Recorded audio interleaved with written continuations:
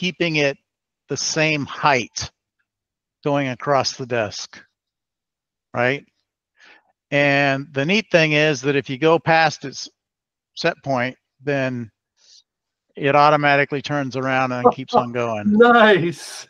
nice. So it's it's true inverse kinematics. Okay, so we are going to see the unboxing. Whoa. Well, I recorded it. It's not live, Oh, okay. uh, so we can skip through it real fast. But yeah. Okay. Um, so uh, yeah, I got this row arm uh, today via Amazon, and uh, it the box does not have any you know sealing tape on it. So I'm I'm I'm lucky that I think everything arrived. Uh, so you peel it off, and this is what you see. So it comes fully assembled. Um, so various bags of parts. I think this one is uh, extra uh, um, attaching attachment plates um, and some hardware. Uh, that's a standard screwdriver that they provide. Um, uh, more uh, different kinds of attachments, USB cable, nuts and bolts, that kind of stuff. Rubber bands for tensioning it against gravity. Um, a 5 amp uh, 12 volt power adapter. And that's the arm fully assembled. Um, I wonder if I can point out some things real quick. Go from this point of view. So there's actually, actually, let me go better angle on it. I didn't give you that angle. Okay, so there's a base right here. So there's so this is entirely servo-driven arm.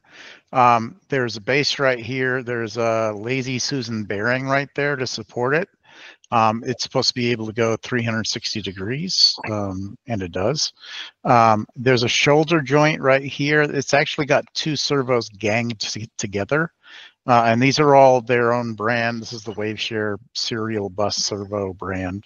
Um, so these are just uh, helping increase the torque. And then the elbow is up here. Um, that's a single servo. And then there's another servo here with the gripper. And there's also an LED light that you can turn on and off um, It's like coming out of it. serious gripper. Um, so you- when you said it would could rotate 360, can it Uh-huh. do continuous, or is it just otherwise does it hit a stop it and have to turn around the other direction? So the servo itself can do uh, continuous motion. Um, To I, wrap I believe it can do up to five, but it doesn't have a. Yeah, it, the the wires are going to get wrapped up. Gotcha. Um, Okay. Yeah, I didn't realize it had an arm, Kareem, because your post on Discord um, just talked about the platform, the mobile platform.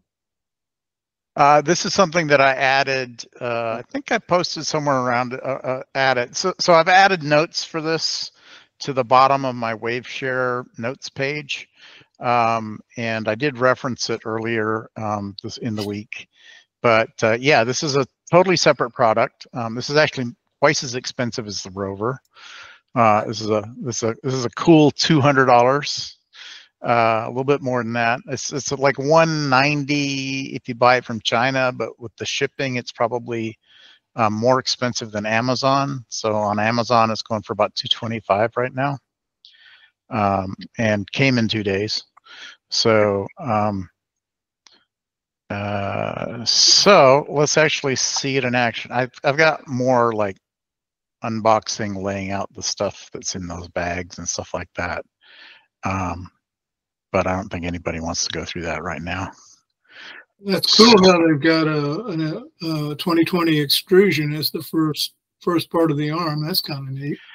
The, uh, so it's not actually a 2020 extrusion. It's two separate extrusions. I think this is uh, a European standard. It might be a 2020, but uh, it, it's not square profile. It's uh, two rectangulars that are separated. Ooh. So Okay, so is it 2040? Or are you telling me like that? Or? no, it's not a 40. It's more like uh 2010. Okay. two 2010s, if that's a, that looks about the size, actually. Yeah. Can I, do I have an angle where I can show that?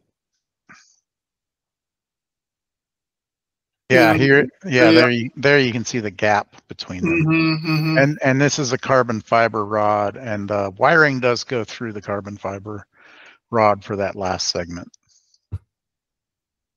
That's pretty cool. Uh, It looks like they, you know, they, they, they thought out of the box a little bit and their materials. And Yeah, yeah, it's it's not. I mean, for two hundred, you know, two hundred dollars, it's it's pretty amazing. So uh, let me also point out that there's a uh, that's a little Wi-Fi antenna. So this has the same. This is driven by the same driver board yeah, um, that I've been talking about for the other robots, uh, the WaveShare board. This is the gen- general driver board. Uh, that's a that's the Wi-Fi antenna. That right there is a little is a tiny little OLED display. Um, and so it boots up out of the box with a Wi-Fi interface. mhm. Um, but you can also there's a whole ROS 2 project behind it as well. Um, so um, and it comes with this handy little desk clamp. Mhm. So I guess it doesn't mount on the rover. Is that correct? It can. You, you'd have to take it off of the desk clamp. That's what some of those extra brackets uh, that it came with are for. Um, so I wouldn't mount it on my rover. Here's my rover. Uh, tip it over. yeah. My rover's a little bit on the small side, but they have those slightly larger UGV six wheel ones um, where they show people mounting the arm directly on it. Oh yeah, because I thought I thought I looked at that that four wheel one that you got, and it didn't seem like it would be proportionate to the size of the arm that you're showing.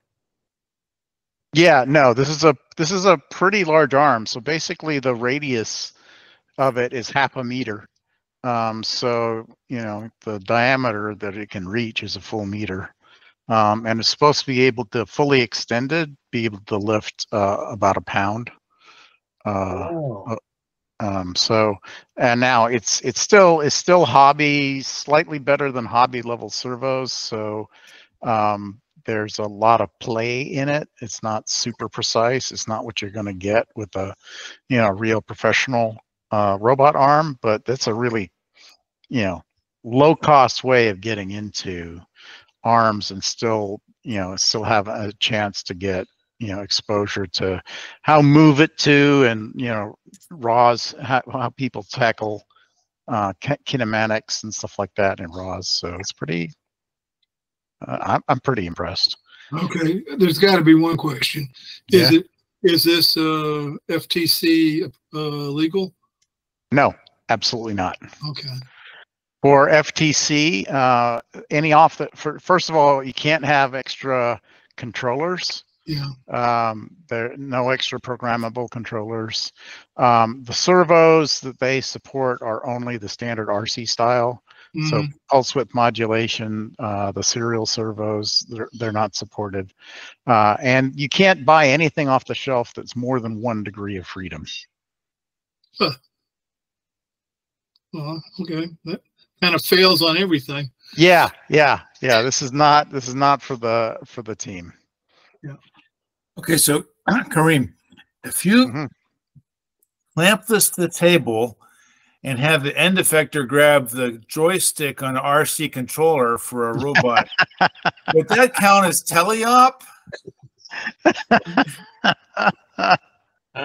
That's that's a good question. That's a real good question. And then you could use computer vision to like guide it. So that would that would there ought to be a Rube Goldberg division. I'd like to see that. Can you have that whipped up for I don't know.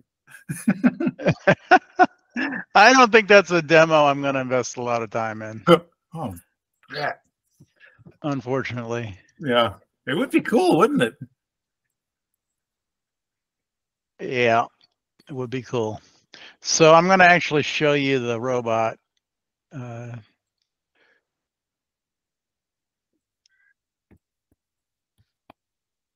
or the arm. So you guys can see that? Yep. Yep. Is my audio still okay? So Yep. far, Okay. All right. So this is so I'm connected via my laptop here uh, over Wi-Fi to it. So there's no ROS, there's no host computer in it. I'm just doing the built-in, you know, the built-in web interface. So this section up here is controlling the joints individually. So this is the base right here.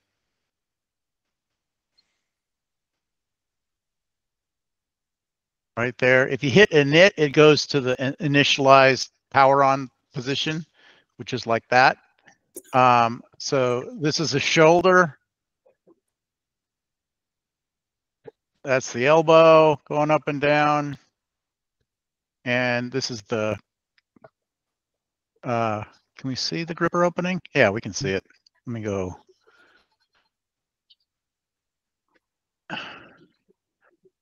So there's the gripper opening and closing. So it's just a single side paddle that opens and closes. Who's Ooh. eating the chips? Is that Ray? No, No? Some, no chips some- here. somebody's crinkling a bag of chips. That's what it sounds like to me. Uh, I haven't heard any of that. It, Huh, it might be feedback. So let's let's uh until we can uh, stop driving Kareem mad. Let's all mute unless we can say something because it might be feedback too. Uh, Kareem, yeah. uh, can, uh, is there a wrist? Uh, no, the, the gripper is the wrist, if you like. Uh, and we could add more onto it if we needed to. That is so weird. I'm keeping getting, I keep getting this uh, crackling noise. All right, so um, uh, you can also turn off the torque. So if I do torque off, then now I can move it just fine. I can reposition it, right? And then I can put torque back on and now it's going to hold. Uh, so this is the amount of play that you've got in it. It's it's quite a bit. This DEFA off and on, I have no idea what that is. You know, I just unboxed this, you know, 20 minutes before. Uh, here's the LED turning on, off. Um, here's where we start getting into the inverse kinematics. So uh, these are actually backwards. This one that labeled vertical drag is actually going to be horizontal. Um, but if uh, what it's doing is it's keeping it the same height going across the desk, right? And the neat thing is that if you go past its set point, then it automatically turns around and keeps on going. Nice. nice. So it's it's true inverse kinematics. Whoops, don't want to go that way. It'll hit my laptop. Uh, so back out of that. Um, and then you can also control the joints. Uh, you can control it here as well. So this is this is X. So it's just going, and this is uh, Y is um, Y is actually. Why did it go out that way? Uh, that's more like Z. Oh, okay. So so Y is actually um, keeping it is the base turning. I guess that makes sense. And then uh, and then Z or or it's it's just the X and Y axes basically. Uh, uh, Z is up and down, but I don't I don't know if you can tell. Uh, I guess I'm off, actually off screen at the moment. Let me go back to init.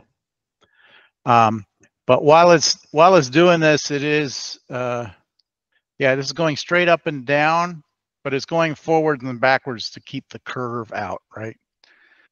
Um, uh, the section down here is where you get access to the JSON uh, uh, text command API. Um, so you can just type your commands directly in there.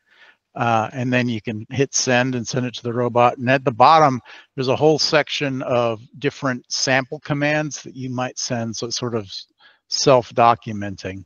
So here's torque control, dynamic adaptation. So I think it has like, you can um, uh, control how much force it's going to try to produce, uh, which, is, which is something you're not going to get with regular hobby grade servos. Um, there's movement control commands.